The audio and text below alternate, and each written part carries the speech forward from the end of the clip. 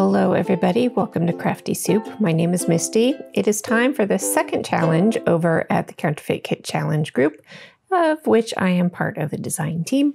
So I try to do as many of the challenges as I can.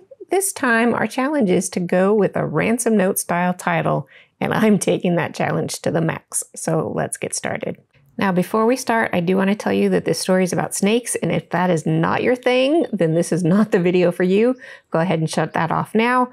But if you're still here, then you're okay with me revealing these photos, so I'm going to go ahead and do that. And here we go. These are uh, the same snake that we found in our basement one day. And uh, I covered it up with a bin so that I could scoop it up and take it out. And my husband does not like snakes. And while I'm a little nervous around them. They don't bother me like they bother him. So I'm going to tell this story um, a little bit from his perspective, but of course, because I'm telling the story, there's always my perspective in there too. And I've been holding on to this story for a long time because I wanted to do this really long title and I didn't know how to pull it off, but this ransom note style was the perfect opportunity to do that. So I have my bin of leftover letters that are not enough to spell much of anything out of a single set, and that is perfect for this ransom note style. And I did choose to put in some red into the bigger part of the title, so that is a little more um, attention attracting. So this title is going to be both journaling and title.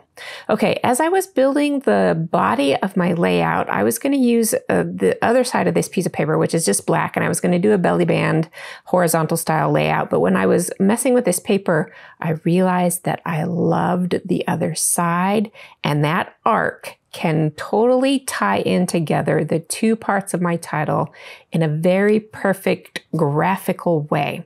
So I am going to cut out an arc of the back of this paper and I'm going to use that as the main design element to this layout. And this was not planned at all. This was a total happy accident as I was doing this layout.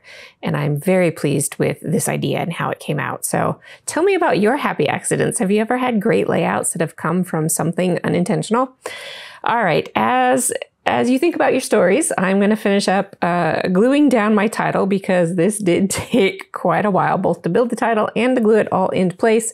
Um, I decided that as I was working on this title, that it needed some punctuation to make the title flow better, also because it is part of my journaling. So I pulled out some commas, and here I am pulling out some periods to create an ellipsis. And that helps tie in that first part to the arc, which flows down to the second part of the title. So this is all about making different parts and pieces uh, separate and yet cohesive at the same time. And that is what that arc helped do and what my different letter, letter styling and punctuation helped do.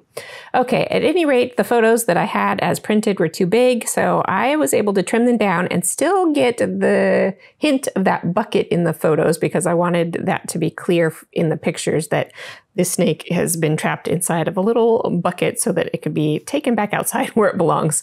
Um, this pattern paper had uh, patterns on it that reminded me of snake skin. So I cut apart the little bits that I had, and I had two different colors of that.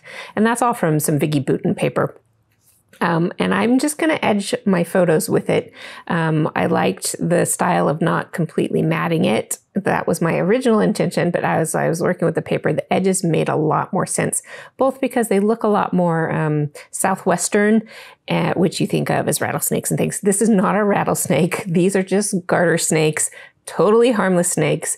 They nest underground over winter and hibernate.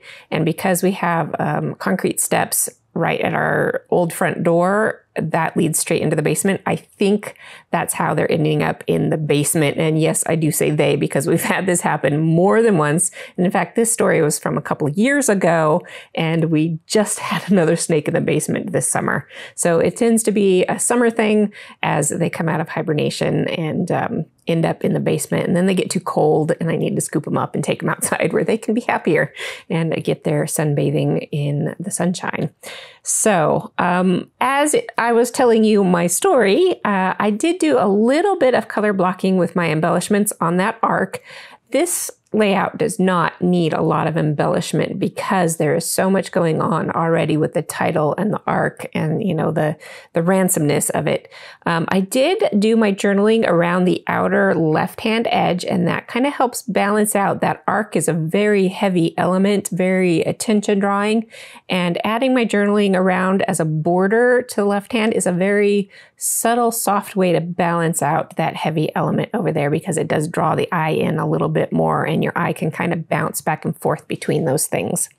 And I added a few more red enamel dots around other parts of the layout to tie in more to that bottom title, a few of the color uh, blocked elements to the arc itself with some embellishment, um, some graphics and some enamel dots. And that finishes off this layout. So, what are your feelings about snakes? Do you have any snake stories? This is a great uh, video to share your stories with me because I want to know. I want to know about the stories.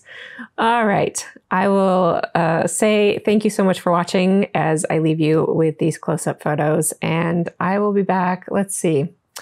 Oh, my schedule is just not sticking in my head these days. I will be back soon with some more crafty videos for you. And until then, have a wonderful day.